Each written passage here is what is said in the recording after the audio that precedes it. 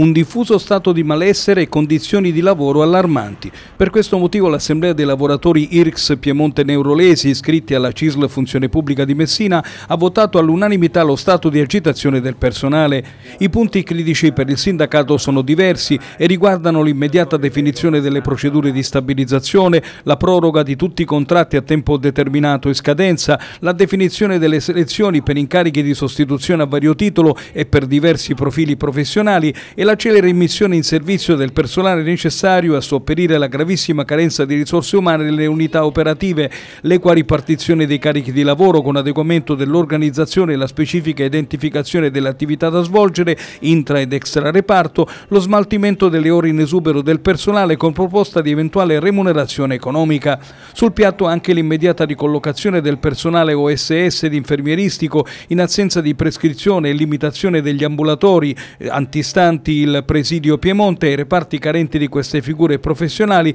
la riqualificazione del personale, il completamento delle procedure finalizzate all'attribuzione di incarichi professionali, così come da regolamento aziendale e la revoca di tutte le disposizioni di servizio operate in difformità del regolamento aziendale. Trascorsi dieci giorni senza alcuna fattiva risoluzione delle numerose criticità rappresentate ai vertici dell'azienda, ha evidenziato il segretario generale della CISL Funzione Pubblica Giovanna Bicchieri, saremo obbligati a proclamare fermare lo stato di agitazione del personale di IRCS Neurolesi, nonché ad avviare tutte le azioni sindacali e proteste previste dalla legge.